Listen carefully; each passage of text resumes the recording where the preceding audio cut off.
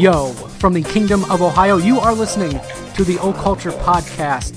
I am your host, Ryan Peverly. Welcome to the show. Thanks for stopping by for this one. It is the last show, 2018, and this year end show has somehow developed a theme of what we call in my hood real talk. Last year, I chatted with a man named Gilbert Bates about love, the three levels of consciousness, primal pain, and primal therapy, which got a tremendous response. So, with that in mind, we return to the subject of love to close out the Gregorian calendar year that has been 2018. And our guest for this one is Dr. Armin Zadeh, who published a book in 2017 called The Forgotten Art of Love What Love Means and Why It Matters. Armin is a cardiologist and professor at Johns Hopkins University. He has authored more than 100 scientific articles and is an editor of scholarly books in the field of medicine. And besides medicine, he has a strong interest in philosophy with a particular focus on mending its ideas with concepts from biology and the sciences. Now, in his book, The Forgotten Art of Love, Armin revisits psychologist Erich Fromm's The Art of Loving and examines love through the lenses of biology, philosophy, history, religion, sociology, and economics to fill in critical voids in Fromm's classic work and to provide a contemporary understanding of love and a look at its role in every aspect of human existence. There's a lot packed into this conversation, including love as a religion, love's similarity to creativity, what Armin thinks of polygamy, and so much more. Just a raw, honest chat about love. I even said during the conversation that this is nothing really too groundbreaking, and it isn't. But that's what I like about it. It's just real talk about the one subject that seems to continue to elude us, both individually and collectively, especially collectively. It's been a trying year for some of you out there. I know it has been for me at times, and with that in mind, there is no Patreon extension here. This is the full show for everyone, so I hope by the end of it, you walk away with at least a reminder and some reassurance. We are deep diving love with Dr. Armin Zadeh, who's in the house right after this. The time has come to unshackle the beast that you have feared for so long. Relinquish your fear and submit to the cause. You will find all you need in these audio recordings. The year's 1990. Welcome to Occulture.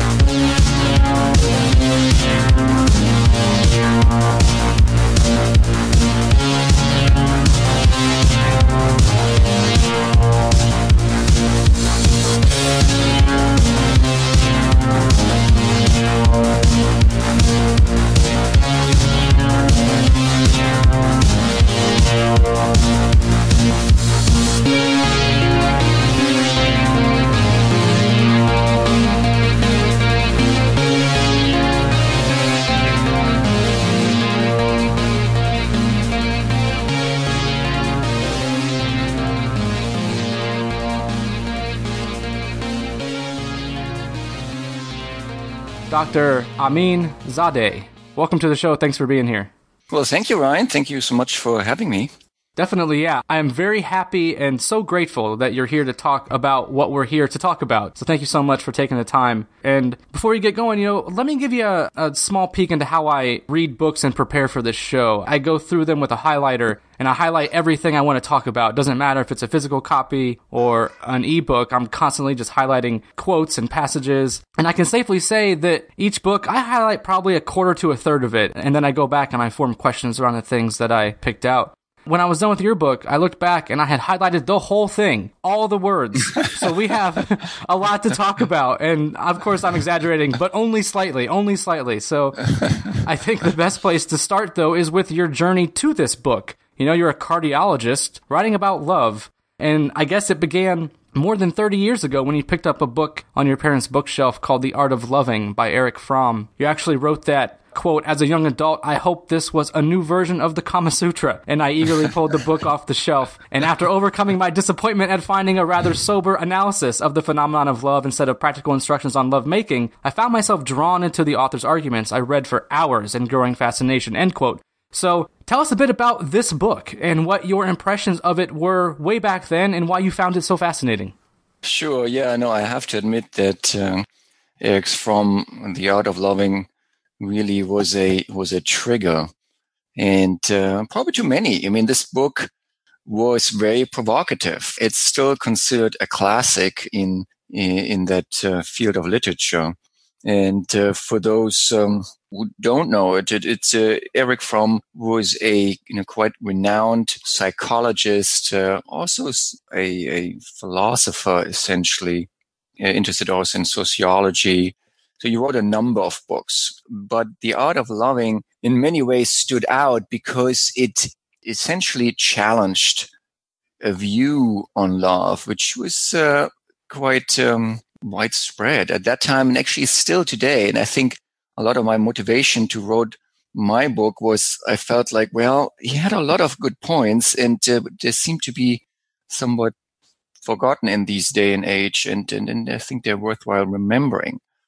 Uh, so essentially what, what, what Fromm said was like, well, the kind of love which you commonly associate with uh, is really not the love he feels is is true love. Uh, and essentially, one one big aspect was to differentiate between the feelings of when we fall in love compared to the um, to the state of love. And uh, so he made pretty clear, at least in his mind, that he felt that you know when when we have that initial phase so when we when we engage in a in a relationship and you know we have this really overwhelming feelings uh, and uh, overpowering feelings. I mean and these are the feelings which are typically also portrayed in in movies and in, in books and these are the very powerful feelings you know we crave. Now he points out that these that these powerful feelings you know, after a while dissipate. You know, they they don't last. I think anybody in in who had like uh, long term relationships and has uh, have to probably has to admit that even though you still love a person wholeheartedly, the intensity of your feelings are typically not the same as they were in the few first uh, first years. And then there are a lot of reasons for that, and we're gonna probably gonna go into those.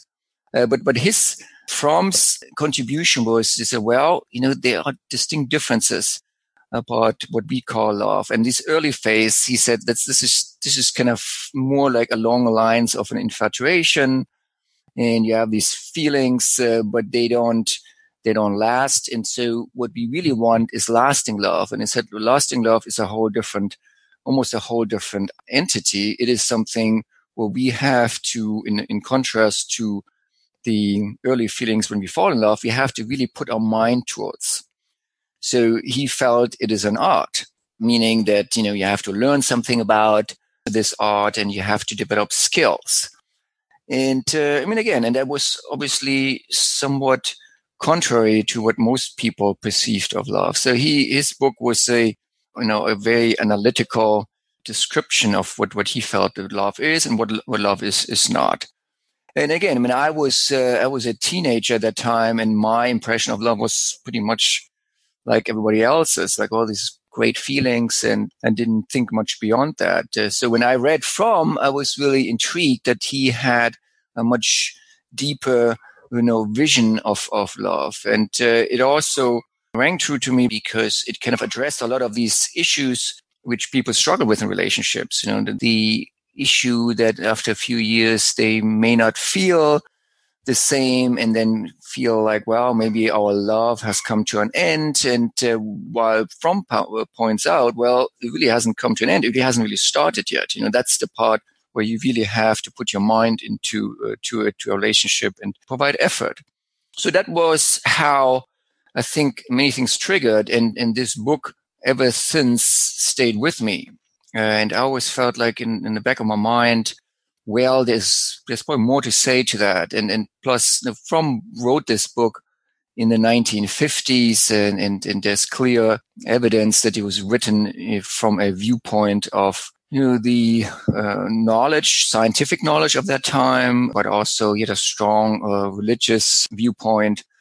And uh, and we made in the last few decades we made major strides in in understanding more about love from a scientific standpoint.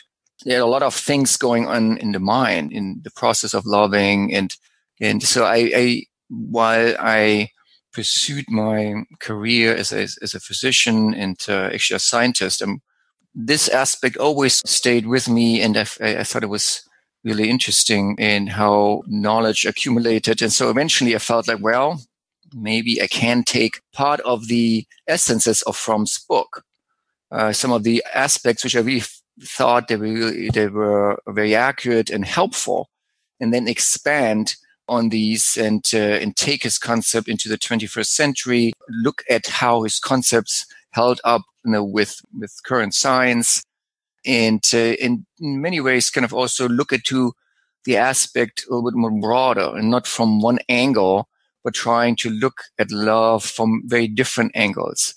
Now, one angle is is clearly science, but then there is philosophy, there's religion, there's sociology. So I really was I'm trying just to look at love, love from, from all these uh, aspects. But I have to say though, I think one of the key motivations for me just to, to write was also personal experience and I guess the realization like everybody else has you know, that, that love is central to our existence. I mean, it's, we all know that on some level because we, we all, there's nobody on this planet to whom love is not important. We all recognize that the love is important and it's probably vital. But at the same time, we spend a lot of time in our lives dealing with other things.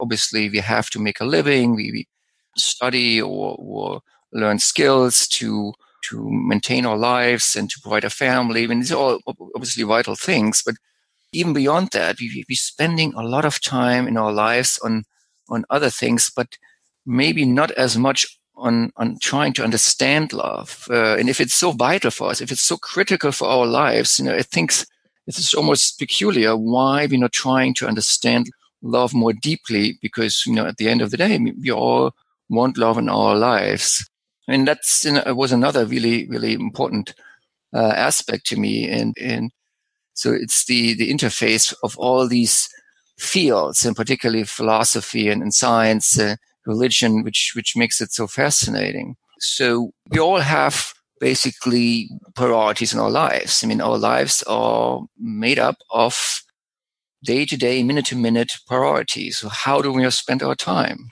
Next day, what are we going to do? So we make in our mind up, you know, what we feel is is our priority. And uh, to me, it felt like, well, if, if we want love to be a priority, you know, we have to kind of find ways to make time and and, and uh, dedicate effort to it. Also, of all the things I felt to be a priority in my life, I felt that, that spending time to understand love is is something very valuable. So obviously it's a lot of work to, to write a book. I mean, I spent years and years researching and writing and, and since I have a full-time job otherwise. so it wasn't easy. Uh, so many of my colleagues were like wondering how, how, how did I do that uh, with, with the full schedule as a physician and, and, and scientist. But I felt it was a priority for me. So I, I carved out uh, time, particularly at night, instead of watching television and uh, the kids were in bed and so I, I you know, just took you know, a few hours every day and uh, kept kept on writing. So I'm very glad that I, I completed it. So that's one thing off my bucket list for sure. Definitely, yeah, yeah. Well, back to the Fromm book just for a moment. You know, you said that you found his understanding of love compelling, but that you also felt he didn't get it entirely right, and that several aspects of his arguments and the way that he defined love that they struck you as incorrect or at least incomplete. So when you got into the book and you were kind of formulating your own definition of love, what was that? How would you describe love to somebody who asks you, you know, what is love? Well, uh, I get to this in a second. Yes, but essentially, what, what bothered me in, in Fromm's uh, analysis was that he was extremely analytical and intellectual about love and kind of like almost dismissive of the emotions. So he went, in my mind, to the other extreme. So most people, I think, when they think of love, they think of the emotions. And, and, and many people even say, well, love is an emotion. I would disagree with that, but I think emotions are part of love. But again, I think most people very closely connect powerful emotions with love. Fromm, on the other hand, basically went out to say, well, love is essentially it's just a power of the mind. And it is something, you know, intellectually you acquire and, and then you can apply. And he, again, he didn't talk much about emotion at all in this book. So uh, what I felt was, well, there's probably truth in the middle. Or, I mean, at least I think the, the emotional con- concept or the emotional uh, components of love cannot be ignored, clearly. Very powerful emotions uh, with love. But how do they really fit in? How do they fit in with Fromm's concept, which also we, I felt like, you know, has a lot of merits. So the way I, I perceive it is that one follows the other. That that when you focus your mind indeed on on love and, and it's really true that you can make your mind create emotions and at the end of the day all our perception and everything what we perceive feel experience is our mind it's clearly evident, you know, when we alter our mind with diseases or drugs or medications, uh, we can induce powerful changes in the way we perceive the world. So at the end of the day, emotions are created in our brain. And, you know, everybody knows that. When if you watch a movie and you see something and the brain processes it and then creates with that emotions. So at the same time, it is true that if you are, you can direct your mind towards loving, meaning that you don't need passively absorbing impressions like you do in the movies, you actually can focus your mind such that you feel true love you know, towards other people. And the, the key aspect there is though that you do, you know, feel these, these, these emotions. And I think again, the, the key thing is that they follow what the process is in the brain. Now, sometimes that's subconscious. You know, we don't, or most of the time it's subconscious. We don't even recognize this. You know, many things would be experiencing, what, what happening in our daily life or minute to minute, we're completely unaware of. Uh, and so we love the same thing. You know, we're not really dissecting and we don't really analyzing how often what is happening in our brain. And the key or one key distinction again eh, between the falling in love and infatuation phase in the early few years and the long-term love, which is the lasting love, is that early on, this is triggered with our notion. We basically see a person or we have some interaction and then subconsciously our brain goes through a lot of algorithms and, uh, and based on some prior experience, uh, on cultural influences and all, uh, genetics, uh, you know, it, it, happens so that it clicks and oh, now all of a sudden we have really this, this emotion for somebody that that's falling in love. Uh, so in that case, it is just like an unconscious mechanism. We don't have to do anything about it. But again, this is transient. It, it, it, it only lasts for a few years, if at all. But the, the, the lasting love, the love we actually can all have. And that's, I think, the amazing and, and really fascinating aspect of it. We really can all experience love essentially anytime we want. The catch is it is very hard because our mind is not easily focused because you know we're living for many many years and having certain patterns and uh, they are very difficult to change. Essentially, our brain is constantly distracted by other what we perceive as desirable actions or, or, or impressions or stimulations. Uh, so what it is is a lot of this understanding about about love and how it works, you know, is understanding our mind. You know, is understanding you know what, what is psychology, what is uh, what is neuroscience, you know, how, how these things work. Uh, and they do actually help getting us to what we want. But again, the, the difficult part is it's just much harder to put it into practice. It is possible. It's much harder to put in practice. So the, the mind really is, and we are as, as, as human beings, like, like most beings, you know, we are very easily driven by pleasure stimulation.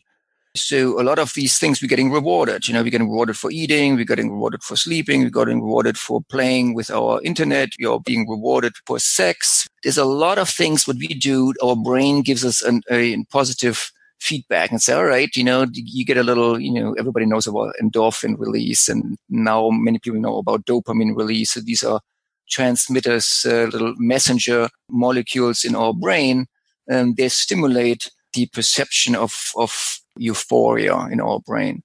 Uh, and that happens all the time. It happens all the time or during the day that we, we are motivated. All right, you know, uh, even our work, you know, we get something accomplished and the, the act of accomplishment gives us a little endorphin release and something like this.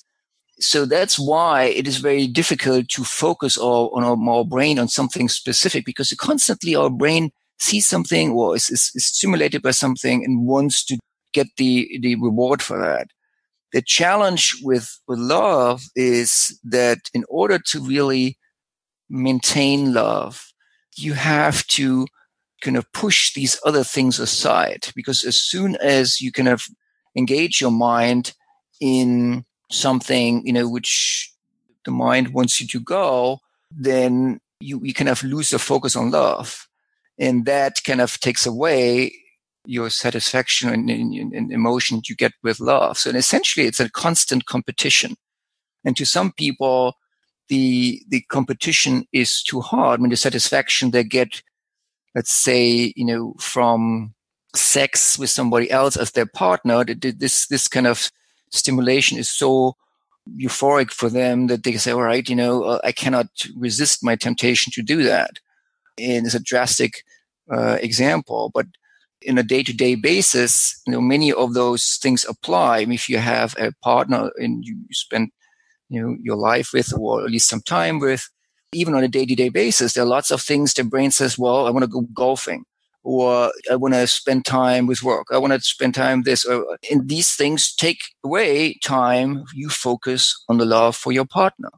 So you make in your mind, you have to say, all right, no, no, my priority is my love, my relationship. And if you do that, you know, you will get a lot of satisfaction and, and reward uh, from it. But for many people, this is difficult. I would say for most people, I mean, some people they learn these patterns to focusing on relationships and love much earlier in life, you know, largely from their parents or from other examples. But for most of us, these things remain a struggle. Now, I don't want to finish the thought without giving you what I think is the at least my version of, of a definition of love is it's the urge and the continuous effort for the happiness and well-being of somebody. And so with that, I wanted to emphasize that love has both. It has this urging component that if you, you feel like that you really want this person or this somebody or could, could be also your pet or it doesn't have to be human. You want that to be happy. You know, that, that's an, you know, there's an urgency there. There's like a feeling inside, like, you know, you want to protect this person. You want to make sure it's well and not just well, but even more than that, you know, joyful and happy. And so there is this urge, but there is also the commitment portion, which is often neglected. There's a continuous effort for that. And that is a critical critical component of love that that love really has that constantly again effort just to maintain that. And that comes back to what we just discussed that that particularly in the long run other aspects or interest in your brain may be competing with that with your urge and, and, and continuous effort for the well-being of, uh, of somebody and so it takes the effort just to refocus and say, all right, what is it really what matters to me? And that brings up another extremely important aspect of love and why I think it's so fascinating and so central to our existence because it gets us to the point of the purpose in life. What is it? What I want to do in this life? You know, who am I? I mean, I have been given certain time, who knows what on this planet. So what am I going to do with this? And so love is an answer and it's a very powerful answer. And I think in my mind, and in the minds of, of many philosophers and uh, religious leaders, it is the, it is the key. It is the key to life because it, it answers this question. Uh, if you are saying, all right, well, all what I want to do in this life is I want to make sure that at least one other person had a better life than I. That's purposeful living. So yeah. you do something which you feel gives meaning to this life.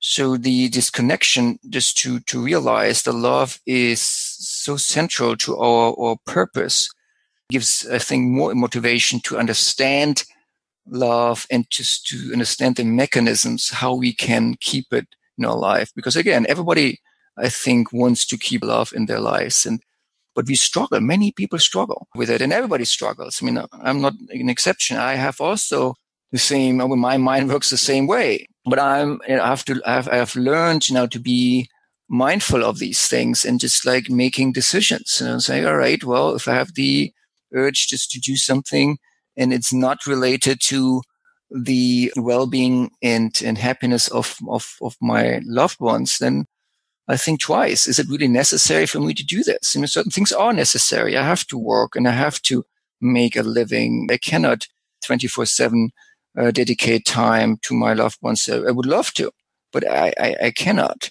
But by being very cognizant and, and mindful of, of my activities, I, I, try to maximize what I can spend, what effort and, and, and, and, and focus I can spend, you know, for my loved ones and while minimizing other activities which which are not serving that that that purpose.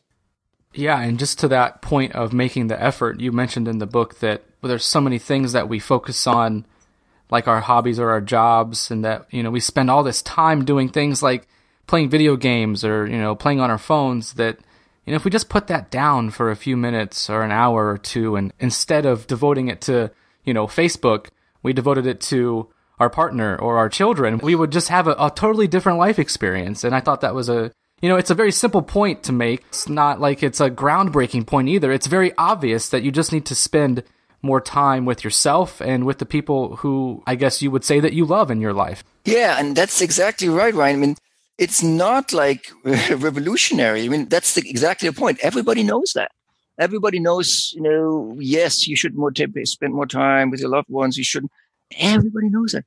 The key thing is in my book, I'm trying to explain why that is different, uh, difficult, you know, for the reasons, I mean, I talked out, it comes back to how our, mind works. And by understanding how our mind works, the hope is just, just, you know, for folks to, just to uh, see that, that there is, that there is a way to deal with this. The issue is, it is hard. It is very difficult. And it is like, like everything else in, in, in life you get great results if you are put effort to it. I mean, that's that's the way it is. Uh, almost nothing comes served on a silver platter. Now, here is one of the key confusions about love because the falling in love portion does come on a silver platter. It comes effortless. And that's why I think people struggle with love also because there is a confusion about well, you fall in love easily. You know, you, it happens least easily, I say, in the sense that you don't have to do anything about it. You haven't really not much control over it. It happens. Uh, and then there. All of a sudden, you have these powerful emotions, and you don't have to do anything for them. They're just they're there, and they just carry you. They carry you for weeks and months, and that's also a reason why we're craving that so much because it's one of those things which are effortless. For everything else, we do have to work hard, but but when we fall in love, everything's wonderful, and essentially you're just there for the ride. But the, again, the, the, disappointing aspect is that this phase does not last, uh, and it's now scientifically shown. We, we know exactly kind of patterns. Uh, we don't we don't know exactly constellation of all the hormones, but we know that there are a bunch of hormones released early on in the falling in love phase and that they eventually decrease in the intensity, the, the blood levels. And so we, we understand it much better now from a scientific standpoint, but we do know essentially this, this phase comes to an end. So people, when they talk about or think about love, they want this early phase to last forever. Uh, because it's the effortless phase and it's, you know, it's powerful and it's beautiful. But it doesn't. So we only get this first few years for free and then we have to step in and we have to kind of make it, make it happen. And that's where often things fall apart. You know, there's statistically clearly evidence for that couples break up, particularly after three to four years, uh, more frequently than other times, uh, because that's where the falling in love phase uh, often ends. But again, it's under, under control. You know, we, we have the power just to make love last. We have to put the effort in. And again, this is difficult. It's difficult in a different ways to do it. Like, you know, I describe in the book and, and people have different general feelings about it. And, and, and it gets into also, you know, general aspects of life, you know, how we want to lead our life. And some people use uh, religion as guidance that helps them, which essentially is a way to to guide your mind, you know, because if you have very strong convictions about what is acceptable and what is not acceptable, what is it what you do in your mind? You say, all right, this is okay and this is not okay. And the teachings of religions, they are very specific in, in this regard. You know, uh, love your neighbor and religion actually is in many ways instructive of how to learn how to love. You know, if you, if Jesus says love your neighbor, he tells you like, you know, regardless who your neighbor is, you should love your neighbor. So that kind of implies your effort that you have to in your mind say, well, even though I may not have liked that neighbor, I have to find a way in my mind to overcome this. So that, that indicates, you know, the same concept that we have to use our mind or, or get our mind to do what we want. And in the case of religion, you're using concentration, prayers, a lot of prayers. You're losing sermons, you know, you're losing studying and, but, but essentially that's what you do. You know, you take your brain and your mind and, and focuses on something. Um, I mean, Jesus obviously goes further. And he says like, you should you should even love your enemies. Again, showing like, wow, this is something, you know, most people to be thinking that, how can I do that? You know, that would be completely counterintuitive. Uh, but the, the concept is just, yeah, just to kind of challenge your mind, to challenge your mind and get it out of its regular patterns and just thinking, you know, don't think of this person as an enemy. Think of this person differently.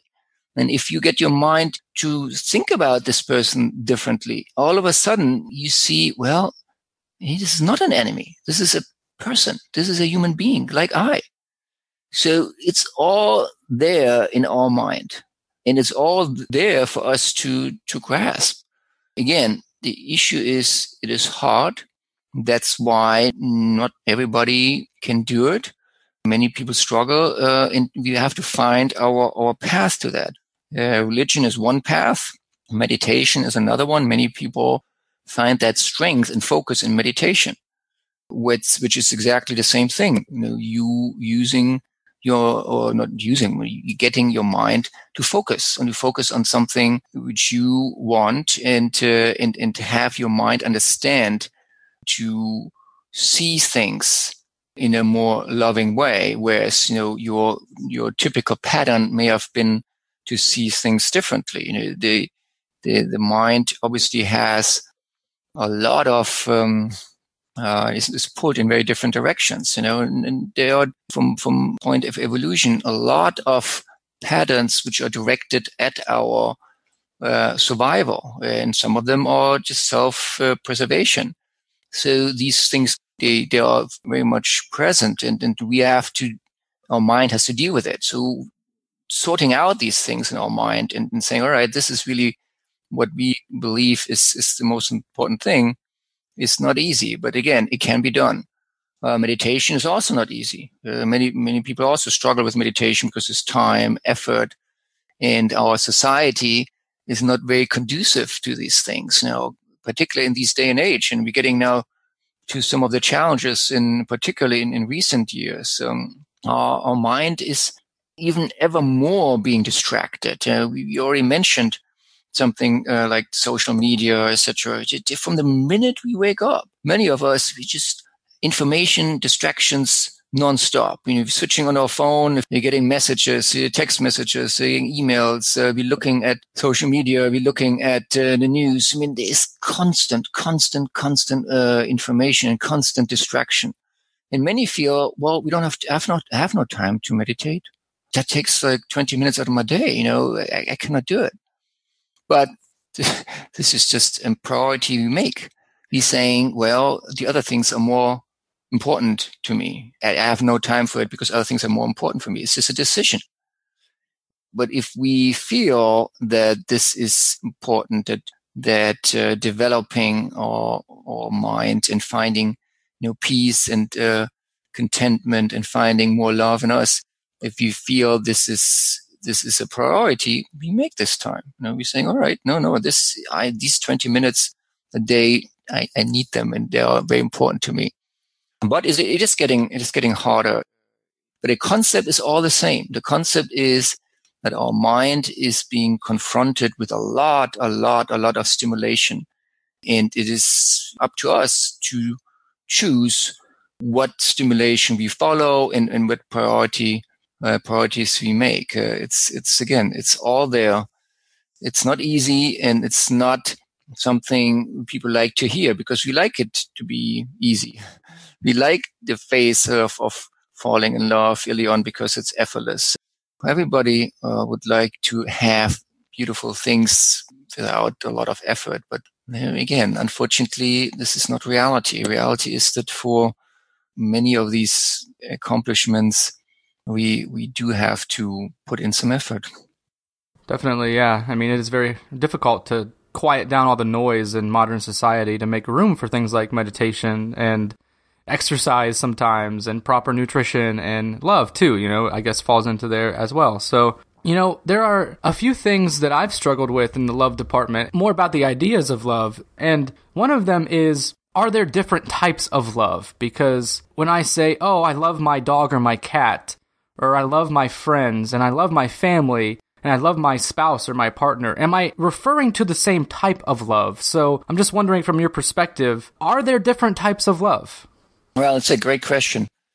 So here, I think it is important to distinguish between love and relationships. Uh, and I think that's, that's very important uh, because these things are often confused. Uh, often we actually use love synonymously with, with relationships. I, I believe we need to keep them separately. So to, to make that clear, you can have a relationship with somebody which contains love. And, then, and typically love is the critical component of a relationship. But you know, they are relationships clearly. They don't have love. I mean, the couples have been married for a long time and they uh, drifted apart and they just, you know, they, they really don't love each other anymore, but they stay together uh, in a relationship because of you know, various reasons. Uh, so we, most of us know some of these relationships at the same time, you know, you can have love or you love somebody and, and know, not even have a relationship with somebody. So love and relationships are not the same. But again, love is a, is a critical component in a relationship. But in a relationship, there are also other critical components and that kind of explains a little more the differences. So if you have a relationship with your friend, which does not have um, uh, sexual components to it, you know, it's purely what people often you know, refer to as platonic relationships, which is not you know, not quite quite accurate, but it's essentially is a relationship which contains love. You clearly love that person. You have the feelings to that person. You have the urge and the continuous effort for the well-being of, uh, for that person. But you know, there's there's absolutely no sexual uh, undertone. Uh, so there are these relationships, and then there are romantic relationships where they typically do have also a sexual relationship. Uh, so these are components. So this one relationship has love and And another component which I haven't mentioned is attachment. Attachment is a very powerful drive as well. So if we, and we know that, uh, if we are spending a lot of time with somebody or even something, uh, and eventually we're so used to this person or that thing, even some people get attached to, to, to things as well. And if you don't have it anymore, we miss it. And uh, everybody knows that. And, and this is uh, what's called uh, attachment. And uh, this is different from love. It's very important too, because we may have feelings because we're missing this, but it's not because of love. It's because we grew attached to somebody or something. So an attachment is also something really powerful in a relationship. And that's the reason why some people, uh, even though they don't really feel love for each other, but they have been together for so long, they, they cannot really live independently because they are attached to, to each other. So these are the, the, key components of relationship attachment, love, and sexual drive. And, and so the difference between these relationships are largely that in a non-romantic relationship, they're mostly driven by love and attachment, whereas the romantic relationship, in addition to love and attachment, also have the component of sexual relationship. Now, the issue often with relationship is that folks are confused by these different emotions because all these give you emotions, sexual relationships or sexual drive, love, attachment, all of them give you emotion. You may confuse them and it makes it very difficult. And they also, in their intensity in a relationship, change over time. And you may have, you know, a larger sexual impulse in the beginning, or maybe it develops later, and your love component develops later, or your attachment obviously something which typically develops later in a relationship. So when they, they are in flux, and uh, if they change over time, partners are maybe confused about their feelings. And so that, that is something is a, a common so- source for, for, for confusion. Back to your question though, I don't think that there are different loves. I think that the, the force, the drive of love is principally the same in all of them. It is just relationships are different. And there's also differences in intensity, clearly. So because for some people we have stronger love and for some people, you know, it's not as strong. So the differences what we maybe perceive as different loves in my mind are different relationships and different intensities of, uh, of love, but not principally or fundamentally different mechanisms of love. Could it be also too that that love is expressed in different ways? Well, so here we get to another, uh, I think, a very important aspect: the the actual drive of love. So the the underlying idea what love is, and then, you know, as you say, this what it does to us, you know, has very different expressions. Yes, but I don't think that makes the love itself different. I think still the mechanism of what love is and, and how it, it develops and how it affects us, they're all the same. But I think, yes, then using what or these emotions, what they create in us, how we communicate them to others, they can be drastically different. Yes. And that's obviously something which again is a is a source of confusion and and and uh, potential issues among partners because people may express or communicate their feeling of love, their commitment of love to others very differently, very differently. So that is something which usually takes some time for partners to figure out. Uh, say, all right, what is it? Uh, what the other really is communicating. So obviously it helps quite a bit if we are trying actively and, and consciously to be better communicators uh, and just like trying to understand our partner and just ask, you know, flat out, and just say, well, you know, I'm trying to communicate this, but maybe you don't really understand it or perceive it this way.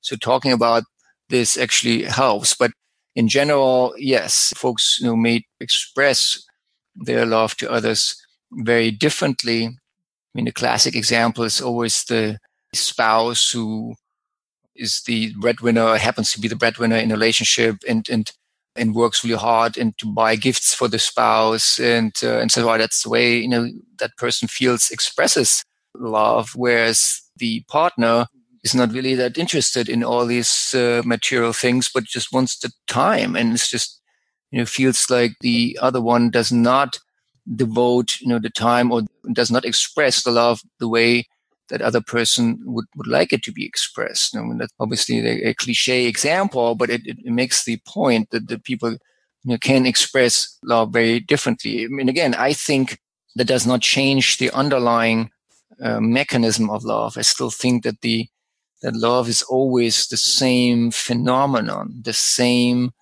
drive, what we then perceive as as as result of this drive it can be expressed yeah, very, very differently and, and, and potentially lead to confusion. Absolutely, yeah. And the other thing that I've struggled with for a long time is the idea of this uh, one true love. I went back and forth on it many times, and to be honest, I'm not really sure where I'm at with it right now. But you did you did make some great points about it in the book, including some points about the complexity of the human personality. Tell us a bit about that and where you're thinking on this subject of the one true love is right now. Well, you know, I have to disclose that uh, this is obviously, you know, my opinion. I don't want to burst any bubbles. There's many people who, you know, strongly believe in this one person, in in, in this uh, soulmate, and and that's fine. You know, I don't want to take any anything away from that. And it's a very romantic and it's a it's a powerful it's a powerful um, image.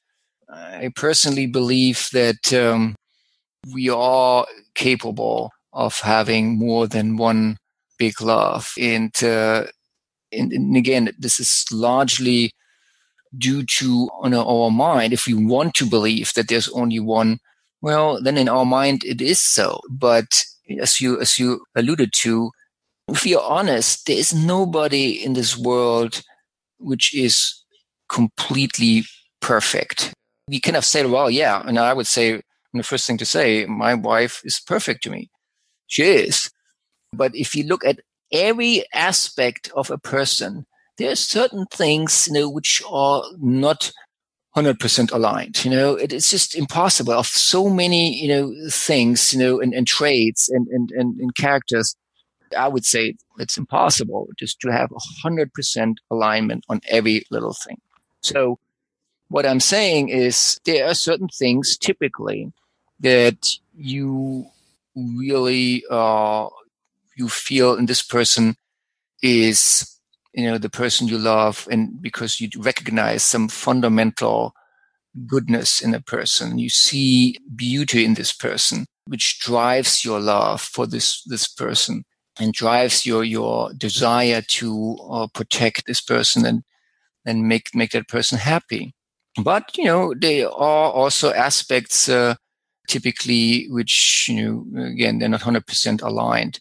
So what i'm saying is you know with another person again the fundamental similarity is that you recognize the beauty and goodness in that person and you will not have the same kind of alignment but there are some alignments which were you know better with this person versus the other one. This is the nature of things. So obviously there's there's matches which are incredibly good.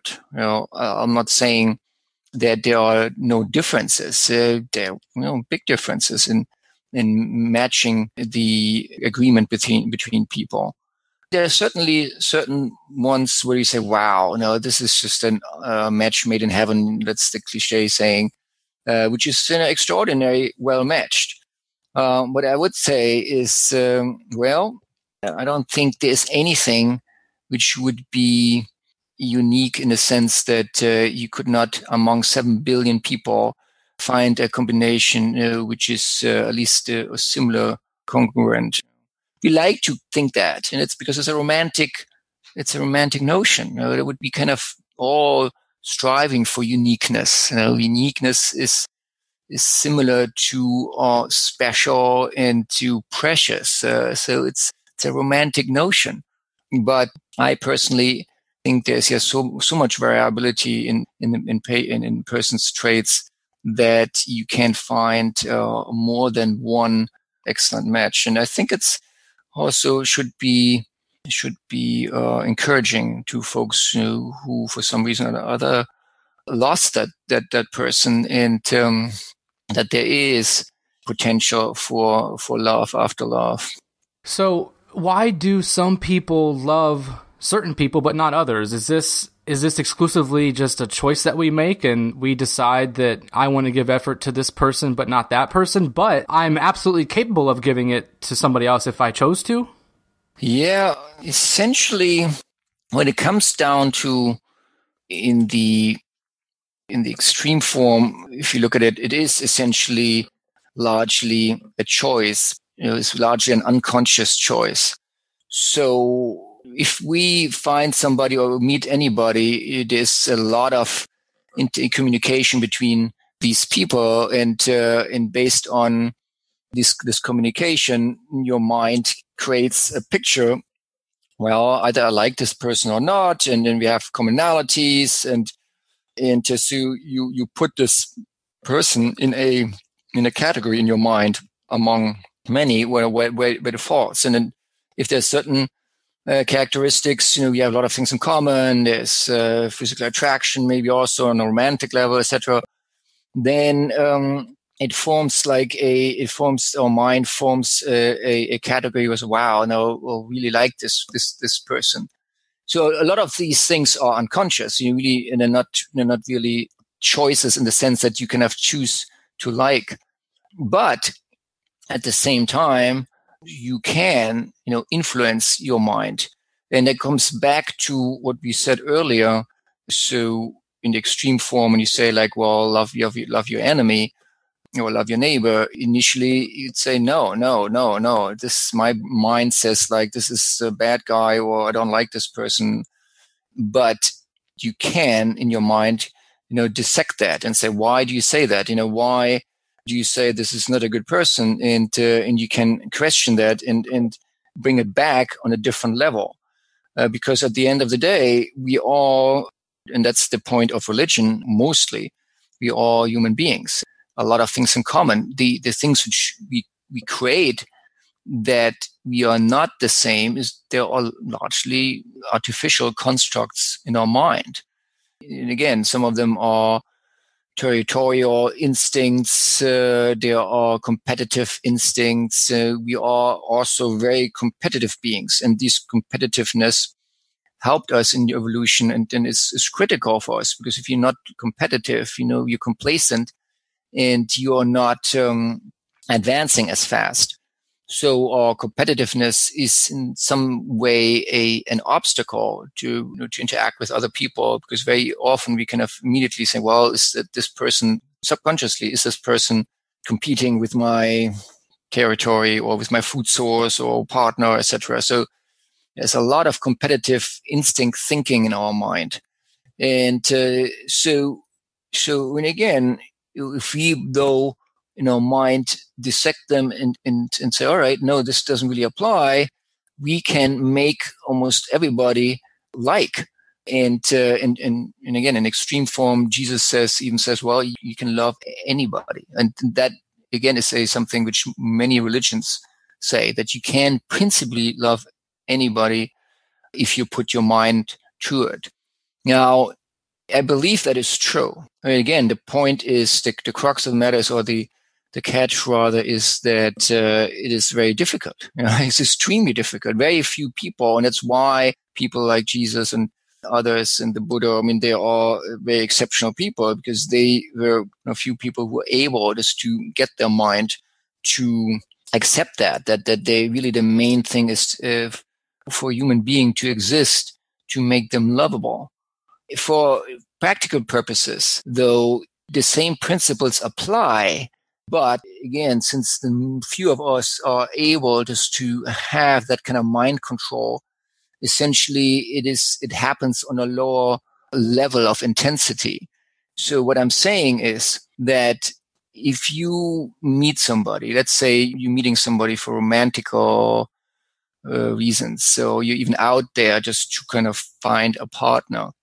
It helps if you at least free yourself from some of your conceptions and expectations. Uh, because many of us we just like well we have uh, in our mind expectations of well this person needs to be this this and this and this. And we see it very clearly particularly in the uh, dating online scene right now. It's just uh, it is really fascinating uh, to me because it's, it's it's almost like you have a catalog and, and a questionnaire. All right i want to check this check this check this check this so if you do that, you know, so you're obviously restricting yourself rather, and, the restriction is in your mind. Your mind says, well, I would not date somebody who has not this characteristic. So that is something which you create in your mind. At the same time, you're also capable of unchecking that box if you get your mind to it. You know, you may say like, well, I cannot do that. Yes, you can. It just may, you know, may take effort and many people don't may don't may not want to do that. And that's fine. That's their decision. Obviously, I'm not telling anybody to do it a certain way. But I'm what I'm saying is the more you allow your your mind to delete these kind of requirements, the more you open yourself to other human beings, and you maybe see get to see the aspects of of people which you kind of uh, would not have seen if you had yourself restricted so much. It is striking that, that many relationships start when you spend time with people. So the workplace is a very common place for people to to start relationships, and and that is because when you spend time with somebody, you learn, you see the attractive features of somebody, which are their goodness. That's their their good ways. You would not typically see that if you just don't give people the chance and, and just look through them like in a in a catalog fashion and and and, and want to have certain criteria met. But if you spend time with them, then you see their their good ways and and you start feeling you know being attracted to these uh, to this to this goodness. So in a way, it is a choice uh, many ways, it's not a conscious choice, but again, you can make it a choice. It comes again down to the same principles that we have the power. The, the, power is there, but it's challenging. And uh, if we want to, we can apply it and we can help our, our, our cause. Now, we also don't have to, and I think that's one part where particularly my earlier point of, criticism was with Fromm book. We don't have to be so intellectual and analytical. We can say, all right, well, we just use it on a, on a, on a, smaller level, but maybe just open our mind to some degree. It's up to us. There's no need just to become as powerful as, as many spiritual leaders in terms of controlling our our thoughts and uh, our mind but it does help if we're freeing our minds from some of these restrictions. And I think that's probably something most of us can can benefit from. Absolutely. And let's tie love back into your day job. What are the consequences of love or a lack of love on our mental and physical health? What have you seen just in your own experience? I mean, can you identify if somebody is suffering from broken heart syndrome or, you know, something like a lack of love in their life? Well, yeah. Um, there's no doubt, there's a lot of scientific evidence now that love or the lack of love has uh, profound effects on our health. There are lots of studies now showing that you are in loving relationships, you're less often sick, and vice versa. If you are, don't have loving relationships, you know, you, or there's even data that you don't live as long, that you're more prone to sickness, and people are now getting closer to understanding the interactions of of uh, love with our immune system. So yeah, there's there's no doubt that those who are loving and focus on love have loving relationships that they are better that are better off in, in terms of health. In my field of, of cardiology, yeah, there was something which got a lot of attention a few years ago, which is called the, the, the broken heart syndrome, which is really fascinating because we didn't know about this uh, 20 years ago. I remember vividly that during my training that we had cases particularly affecting more women than men they came and had all signs of an acute heart attack, and we would rush them to the heart catheterization laboratory to because we were convinced that they had a blocked heart artery which need to be opened and they never had any. And we're like we're puzzled. Well how come that these people have all signs of a heart attack but they really don't have uh, the heart attack like you know like we typically see but there's a blood clot occluding a heart artery? And so what we found out is that uh, in these circumstances, the person had some kind of emotional event, be it as something traumatic happened to you know, one person, for instance, there, there was a fire in the house and was really scared about the the loved one which was was still left in the house so it was in very strong emotional distress and and and, and essentially had this this symptom where the heart muscle all of a sudden would not work well. Then another person lost uh, a partner of many years and was devastated. And uh, a few weeks later came with, with the same symptoms that the heart muscle would not work well. And uh, so we found out that, yeah, these very strong emotional states would cause essentially a, a such high levels of adrenaline in, in the heart muscle that would lead to to damaging the heart muscle cells and the, the patient actually got heart failure so it is a it is a new entity of uh, yeah again which we've been only knowing about the last uh, decade or so.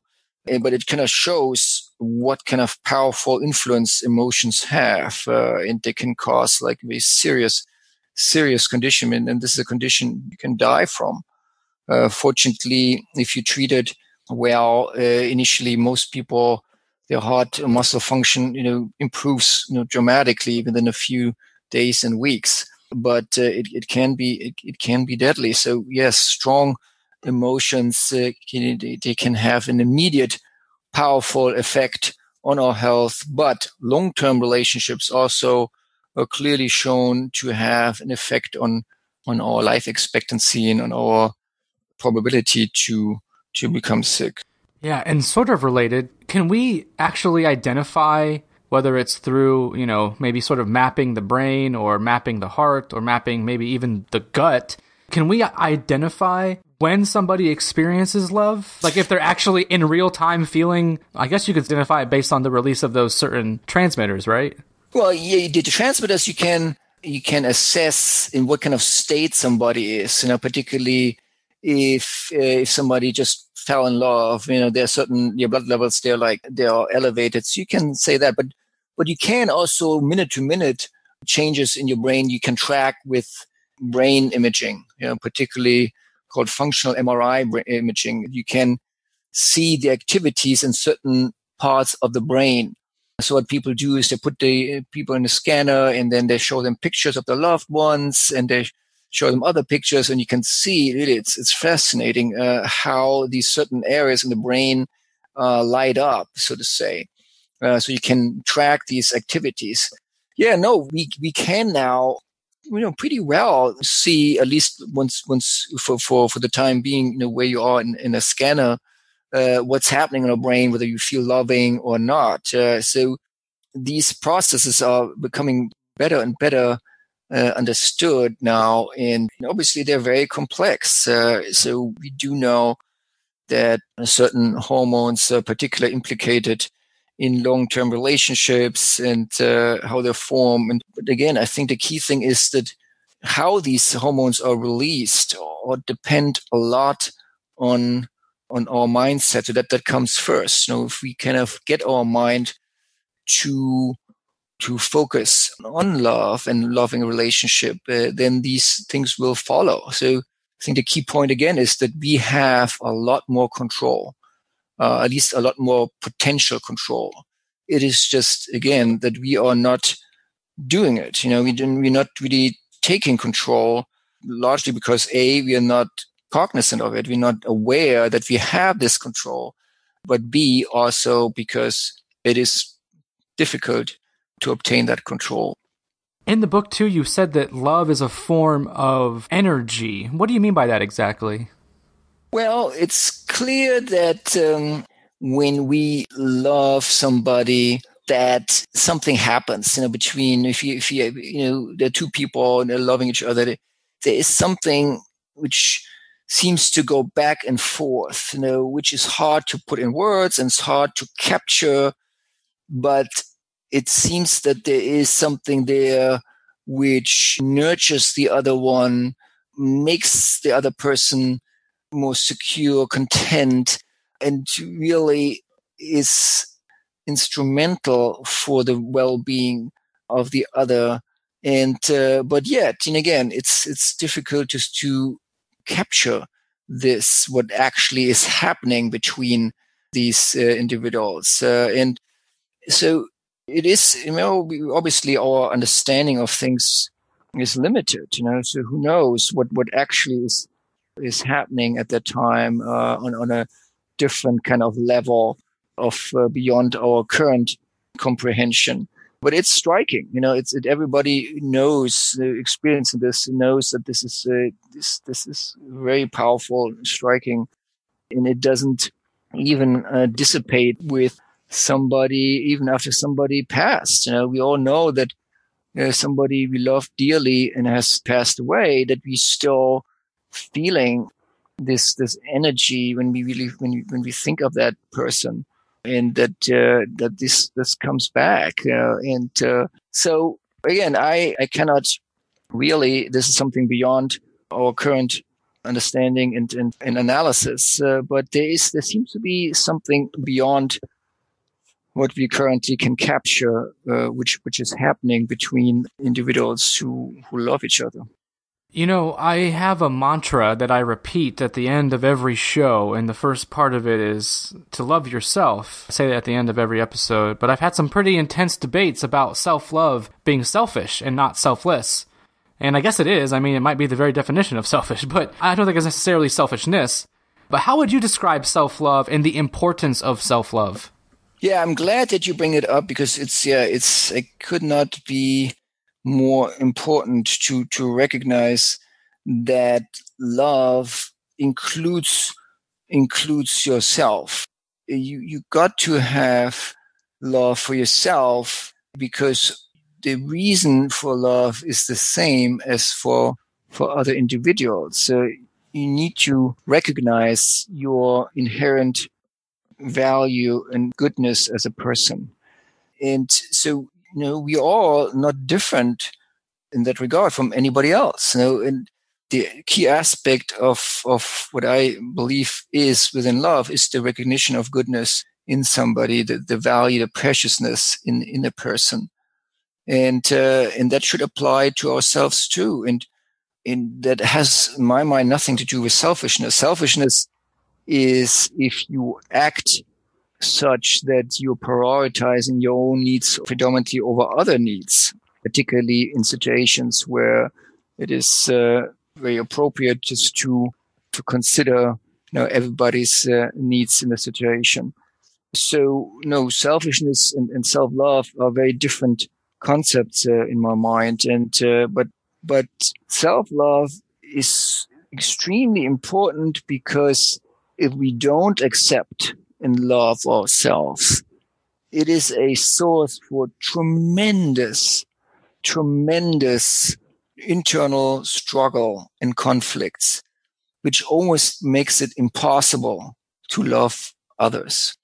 So, because for the mind, it is so devastating that for not accepting us, that, that our mind is then, if we are in a position where we question ourselves and don't feel worth to be loved, that then our mind is constantly busy just trying to find or recreate its balance.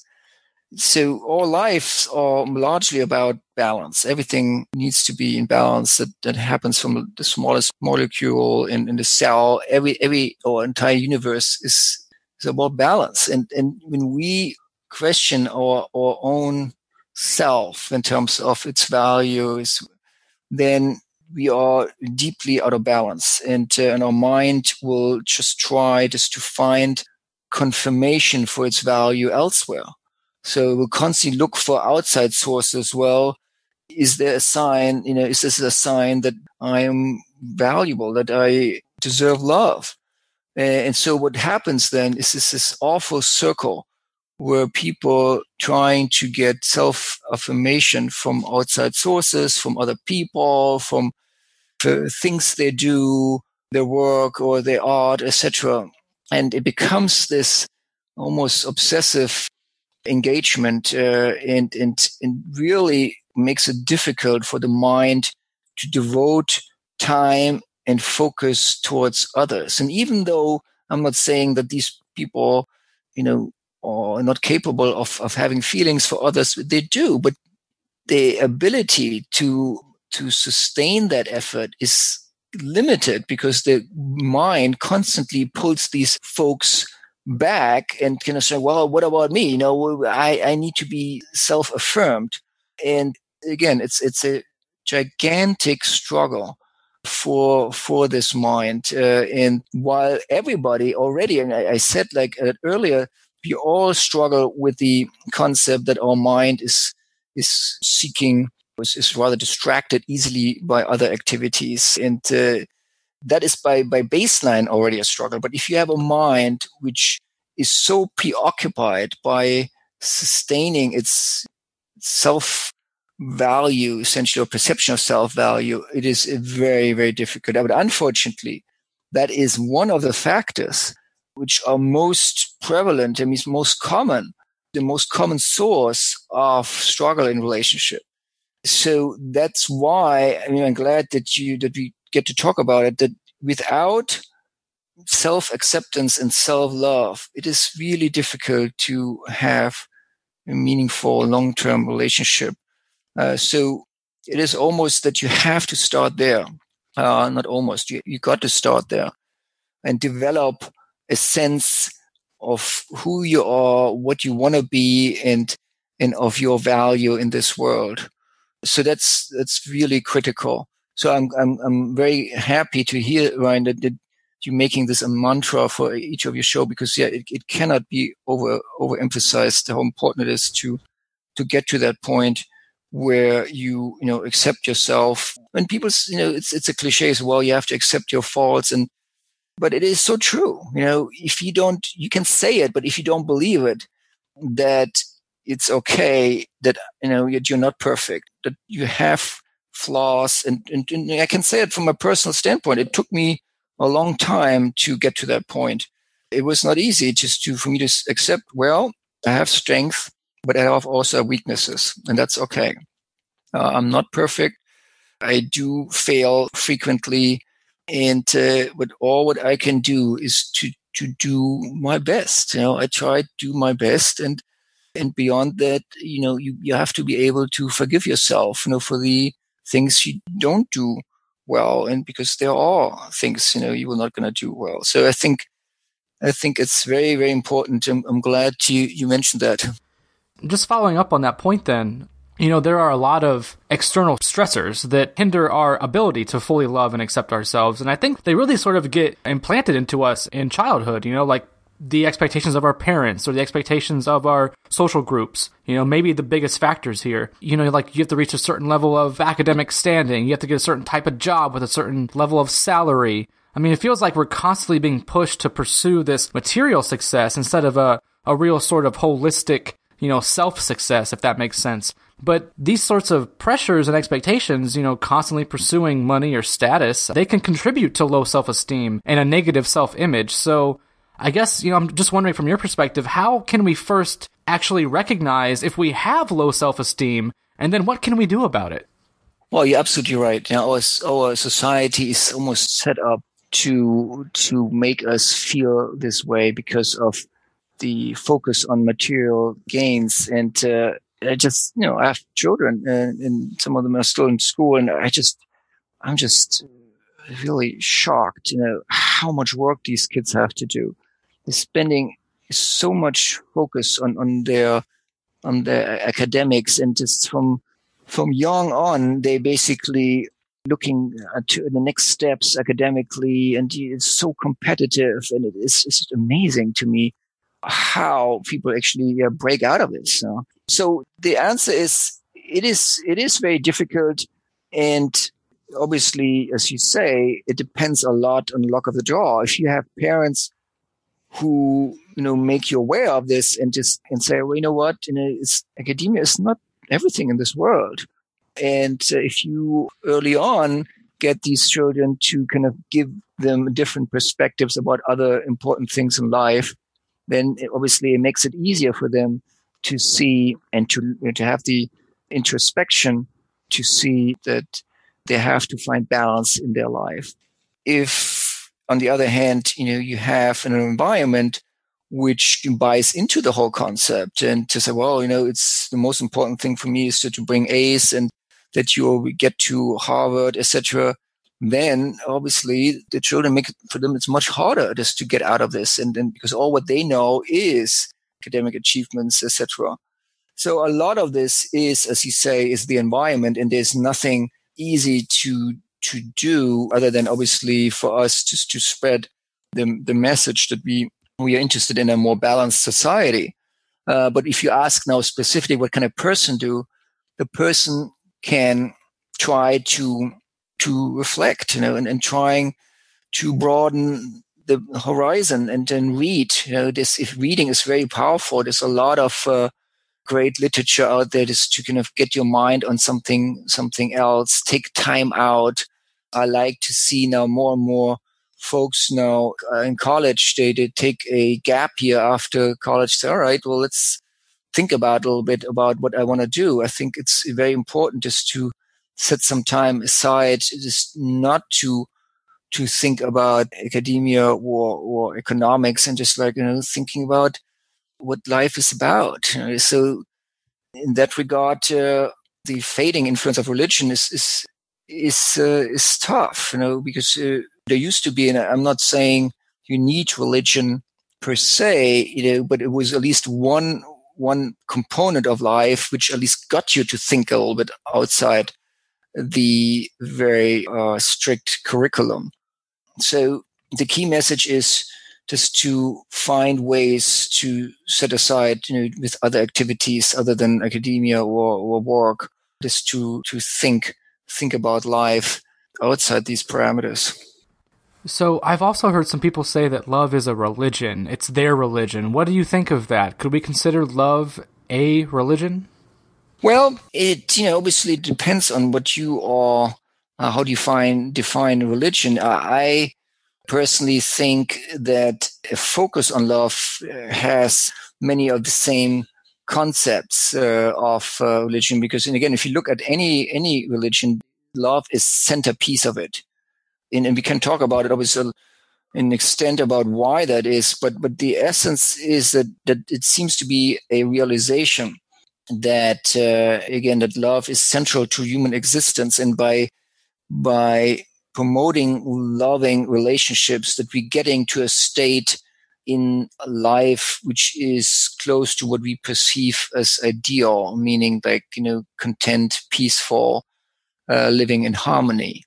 And um, the criticism that many people expressed before me, but but with I but which I share is that religion often comes with the confinements of a construct which is essentially arbitrary. It was established at some point and then it was continued and it often it was established many centuries ago and it contains confinements which many would say have not kept up with the changes of time but still often they are being reinforced uh, which then they create a conflict with the with the actual purpose of these religions. So, so there's a lot of conflicts, and I think many people would also would agree, and, and it's a reason why they left religions uh, because they felt like the, ideas are good, but what what the institution uh, made or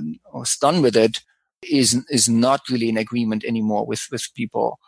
And I think that's true. And and the, so the I, the idea of uh, love as a religion is to say, well, well, we don't need a construct or an institution around it. If, if love is really the essence of all religions, why can't we just, you know, focus on love and then we don't have these these other issues? So the idea is just well, uh, all we what we have to do is just to focus on the practice of love, meaning that you know, looking at, at each individual person and to treat that person with as much love we can generate. And if we do that, then we have exactly what all these religions essentially ask for or, or, or preach. I mean, it comes to a very similar uh, state. And similar to these religions, they, the process getting there is difficult. We talked about it. But uh, akin to religions, you know, we, we engage in practice and it can be done together, but it can be done on our own to uh, foster this attitude towards uh, towards others. So in that regard, I think love is really the essence of religions and can be regarded as as such itself. Yeah, and speaking of religion, there are some that practice polygamy. Where do you stand on that in relation to love? Is it possible to have multiple romantic, loving relationships with different people at the same time? Well, what I would say is that in theory, you can. If you are able to love, you know, these people or several people at the same time equally, or at least to the extent that they require, I would say again, it, it, can be possible, or at least in theory, it can be possible. Within practical aspects, it can be possible. It's a different story. But I cannot be the judge of it. I, I've never, you know, seen a, a relationship to to assess whether it works or not uh, in terms for everybody involved. I would say that you know that monogamy is is something I endorse and uh, I practice, but I would not say it has to be the form of a relationship which you know everybody needs to needs to be uh, abide to the same rules. So I think again the, the issues are there that the, the, the relationships in love are different, and that as long as you are able to to have the loving relationship even among more than two, it's possible. I would think it is difficult uh, just because of the dynamics and uh, of more than two. It's already hard to maintain a relationship between two people, as we know, uh, because of the the dynamics within a relationship between two people, uh, within the, these individuals, the dynamics over time. Uh, so it is already very challenging to have a relation between two people over a long period of time. So I would think it is more challenging to have that with three or more people. But again, I wouldn't say it is saying it's impossible or it shouldn't be done. But uh, I think I think it would be it would be challenging. Yeah, yeah, I, I, think that too. It's it's hard to take out the uh, just the human emotion, you know, jealousy or territorialism. It's just very hard to get past those things. So yeah, I mean, I've never really seen it successfully implemented into somebody's life, at least who I know. And I'm wondering, you did mention this in the book. I'm wondering though, what are the similarities between creativity and love? Do they have similarities? I guess.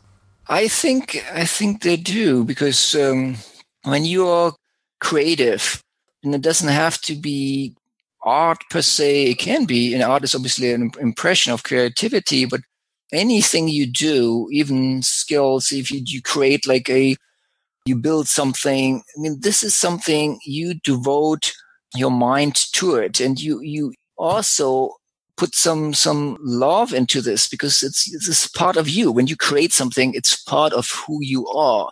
So you have a connection with whatever you created. And in the process, uh, I think has, has similarities because, you know, you focus on something, you're giving, you're giving something. It's a giving process. And you, want to create something, you also have that, you know, typically you have that aspect of that you want to preserve that what you created. You know, did you feel attached to it? So it is an impression or an expression, I should say, of, um, of something that you hold some value for it. So I think I think there is there is some there's some parallels there. So and maybe that's the reason why people also they are uh, find a lot of satisfaction with creating something and with with art. because you really give something of yourself, uh, which then continues to be to some extent part of, of, of you.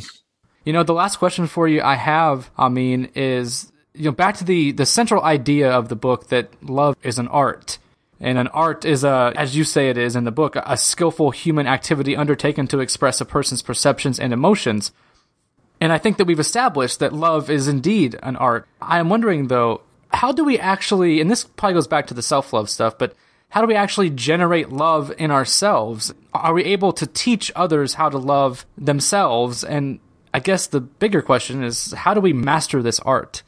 Yeah, yeah, it is. Um, it is essentially you master it by by uh, constantly being mindful of what happens in, in your mind, uh, in gently redirecting your focus on loving activities and uh, discouraging your mind being distracted by not loving activities. I mean, that's in a nutshell how you do it uh, or how you master it. And so the levels which are involved is obviously first gaining awareness.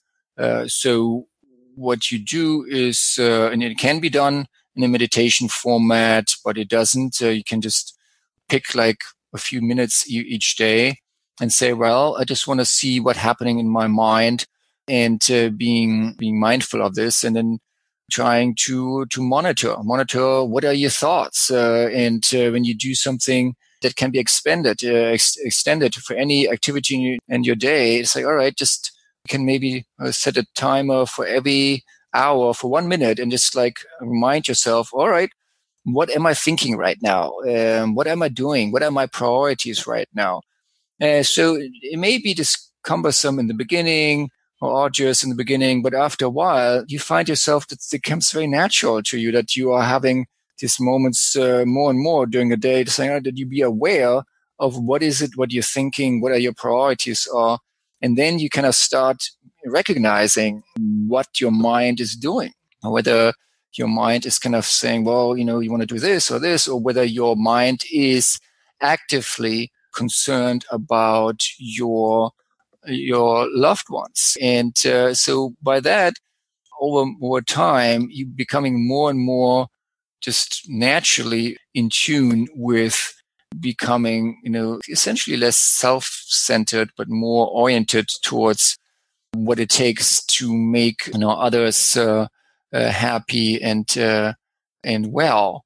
And uh, so it's a process. Uh, it it it uh, and, and, it takes essentially in the beginning some discipline, but again, I think over time it become it become easier. And so it's it's essentially practicing practicing self awareness and mindfulness. So if you want to do if you want to pursue fast on the track, you obviously you put in more time. You know, if you spend uh, every day uh, 20 minutes in the in the morning and 20 minutes at night, you know, meditating or praying or doing similar activities, you're getting you're getting there faster. The key thing is the consistency. These things, these things, they don't change within a few days or weeks just because you know, we make these uh, changes uh, after many decades of our mind uh, having certain patterns. Now, you're not going to change these patterns easily. Uh, so the key thing is just to stay with it. And that's maybe, that's why it's important not to kind of overwhelm you in the beginning and just say, well, maybe just one minute every hour, uh, waking hour, where you kind of remind yourself, or you just do it even less than that. Uh, but the thing is just to have it regularly, regularly over time, because then eventually it will it will sink in, and uh, I think people will be amazed how what an impact it, it, will have, even if you do it just on a small scale in in the beginning. It's very hard to disagree with that. So before we go here, please tell people where they can find the book if they're interested in picking it up. Oh, sure. Yeah, it's you know, it's still it's still on Amazon. So, or, or any major bookstore, I think uh, the major sources, yes, and there's a website also with the same uh, same name. Uh, so I very much welcome, obviously, comments. Uh, there's a blog there and uh, discussions uh, because this is what, uh, at least I think, makes makes us interesting you know, to have different perspectives. Uh, this is obviously always this is works in progress. This is something which is going to develop over time, and uh, and and inputs from from different sources will will develop these concepts. Absolutely. And I mean, there's so much here in the book and just in general on the subject. I mean, we could talk for a couple more hours. And I'd love to have you back sometime if you're interested. And I should tell you, too, that I picked up a few extra copies of the book to give to some people I know that I think could get some benefit. Thank you, man. no problem. Yeah, it's the least I can do, you know. So sure, sure. Yeah, no, I'd be of course happy to to be back anytime. As you say, there's uh, there's a lot of uh, things to talk about. yeah, I mean, we really just scratched the surface, you know, trying to sort of, uh, I guess we just tried to lay a foundation here for what love is and what it means and why it matters. And I think we did that. So, Dr. Armin Zadeh, thank you so much for being here. Really appreciate it. Best of luck to you in the future and much love to you and yours as well. Thank you, Ryan. It's been a pleasure and uh, all, all the best to you as well. Thank you. And there you have it. My thanks again to Dr. Armin Zadeh. There are just a few simple things that bring me real joy and ecstasy in this life, and one of them is allowing myself to be completely absorbed into the passion of another person through the energetic current that they create. That's a tricky game to play because wading through that current can sometimes take us places we don't want or need to be. But when the moment is right, when the essence is right, and you'll know when it is, Goddamn, there are a few better feelings in the world than that. And I get that feeling whenever I can have a legitimate and serious heart to heart conversation with someone about love and relationships and the nature of that part of the human experience. And the nature of this conversation, which I thought was simplistic and therefore accessible to a, a wider audience, that's refreshing when you hold it up against other episodes on this show and against other podcasts in this genre. I mean, at the end of the day, most of this is pretty trivial and pretty insignificant. I mean, does your natal chart really matter? No, not really. Does the shape of the earth or the nature of UFOs really matter? No, not really. Do your politics matter? Some of you will hate me for this, but no, not really. I mean, is this stuff interesting? Is it thought provoking? Fuck yes, it is. And we'll continue to explore those kinds of topics. Well, maybe not the shape of the earth, but we'll continue to explore these things like only we can explore them together, raw, and unfiltered. That is the absolute best way. It's the only way to experience it. Hey, what a uh, wonderful year this has been for me, and hopefully for you as well. I've made so much progress uh, in my character, in my personality, and have seen tremendous growth and maturation in some areas I definitely needed to grow and mature in. Still a lot of work to do in those areas and in some others. That job is never done. But I have noticed some progress, and that's all I can ask for. And I hope you too have been able to grow and mature in whatever areas you know you need growth and maturation in as well. And one area I suspect we could all do better in, back to the theme of the chat, is love. You know, love is exploited and sold just like anything else in our culture. It's probably a trillion dollar industry when you consider all the ways it's marketed and sold, whether it's through film and TV or ways to enhance your physical appearance and so on.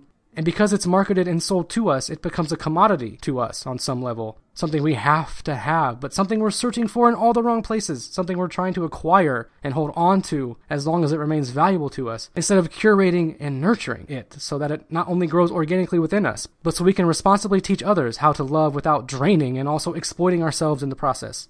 Obviously, we're getting ready to turn the page on another year here together, at least based on the control mechanism that is recorded time and most of you will be celebrating such an occasion with friends and family, partners and spouses, and obviously do that responsibly as well. But when it comes time to think about what you wish to do differently in 2019, remember that expressing your love or your adoration or any other sort of positive sentiment that you know someone else would appreciate hearing and sharing with you, remember that that expression is communicated in four key ways words of affirmation, performing acts of service, physical touch, and spending quality time together. So tell someone you love them, do something nice for them that you know they'll appreciate. Hug them, kiss them, fuck them if you're into that sort of thing. But most of all, make time for them. Spend time with them. Because you never know how many more calendars you're going to turn the page on. That said, Happy New Year. Be kind, be loving, be safe, and most importantly, be yourself.